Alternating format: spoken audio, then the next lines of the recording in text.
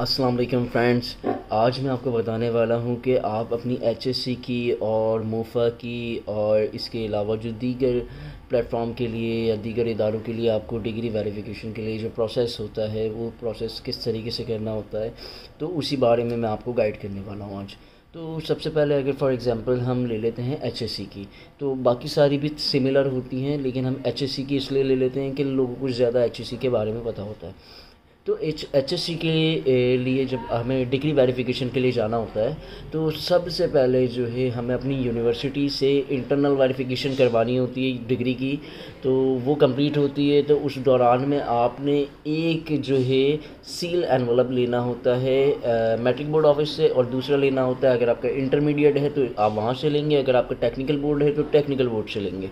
ये दो जगह से और उसका प्रोसीजर क्या होता है? उसका प्रोसीजर ये होता है कि सबसे पहले आप मैट्रिक बोर्ड ऑफ़िस जाएँगे। मैट्रिक बोर्ड ऑफ़िस जाने के बाद आपने वहाँ पे एक छोटा सा फॉर्म भरना होता है। फॉर्म भरने के बाद जो है आपने ऑर्डनरी करना है या अर्जेंट करना है तो वो आपके ऊपर डिपेंड करता है। उसकी एक छोटी सी फ़ीस होती है। तो वो आप पे करेंगे तो आपका जो भी बीस पच्चीस दिन में आपके जाके आप कलेक्ट कर सकते हैं, अपना सीन एनवलप वो आपने खोलना नहीं है, ठीक है? वो आपने खोलना नहीं है। इसी तरीके से सेम प्रोसीजर जो है, वो टेक्निकल बोर्ड ऑफ़िस और साथ के साथ जो है इंटरमीडिएट बोर्ड ऑफ़िस के लिए भी होता है। दोनों दोनों जो सील एनवलप होंगे, वो आपने खोलने नहीं है, बिल्कुल भी।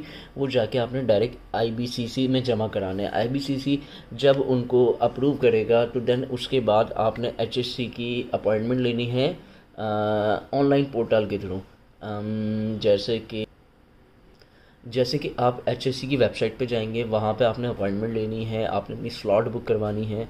स्लॉट बुक करवाने के बाद जो है वो आपको एक डेट दे देंगे। डेट के बाद जो है आपने उस डेट पे एच के ऑफ़िस जाना है और तमाम अपनी ओरिजिनल और दो दो फोटोकॉपीज़ लेके तमाम डिग्रीज़ की मैट्रिक इंटर या टेक्निकल बोर्ड ऑफ़िस की या आपके ग्रेजुएशन की या मास्टर की, तमाम डिग्रीज़ को आपने लेके जाना है वहाँ पर और उनको देना है, वो आपको वेरीफाई करके देंगे। कुछ टाइम उनका दरकार होगा, आपसे वो लेके रख लेंगे और कुछ दिन बाद आपको जो है बुलाएँगे और आपकी डिग्री आपको दे देंगे वेरीफाई करके। ये प्रोसीजर है टोटल अच्छा अब मैं अगली वीडियो जो है आपको इसी में मिल जाएगी। इस वीडियो के एंड में जो है उसको एंड स्क्रीन में डाला हुआ है मैंने कि आप मैट्रिक बोर्ड ऑफ़िस का क्या प्रोसीजर होता है जब आप सील एनवलप के लिए अप्लाई करते हैं। तो टोटली प्रैक्टिकल जो है मैंने उसके डाला है। यानी कि आप जब मैट्रिक बोर्ड ऑफ़िस जाते हैं तो वहाँ आपको क्या क्या चीज़ें फेस करनी पड़ती हैं? तमाम चीज़ें मैंने उसके अंदर डाली हैं। मैं खुद गया था, वहाँ पे वीडियो बनाई है, कौन से काउंटर पे आपने जाना है कहाँ फ़ीस जमा करानी है, ये सारी चीज़ें। इसी तरह टेक्निकल बोर्ड ऑफ़िस का भी डाला है।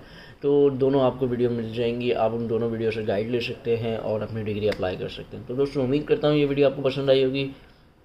अगर ये वीडियो आपको पसंद आई तो प्लीज़ इसे लाइक कीजिए और आपको कोई सवाल है तो आप कमेंट कर सकते हैं। This is Ahsan signing off अल्लाह हाफिज़।